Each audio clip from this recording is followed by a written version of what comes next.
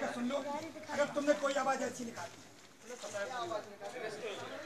इन्होंने क्या कहा? कि जब तक आठ दस नहीं मारे जाएँगे जब तक नहीं पकड़ेंगे जो पब्लिक कह रही है वो चाहिए इनकी बात खामोश रहिए आप। जनता है हमारी। एक तो यहाँ पर इतना बड़ा बड़े बड़े हादसे हो रहे हैं और तुम्हें हँसी दिख रही है। अरे बाबूजी खेत तक देखा ना जा फिर के मारे बताओ तुम्हारे ऐसे एक साल हो गए। पिछले साल की बात है इन्हीं दिनों की। एक महिला थी देवना पिपरैया में। वो अपने खेत में लहसुन मिला रहा उसको शेर ने खा लिया। उस रेंजर ने ये कह दिया था कि किसने खाया? ग्रामीण वासियों ने कहा शेर ने खाया। मैंने कहा तुम दिखा सकते हो? मैं गाड़ी में डाल दिया था मैंने उसे।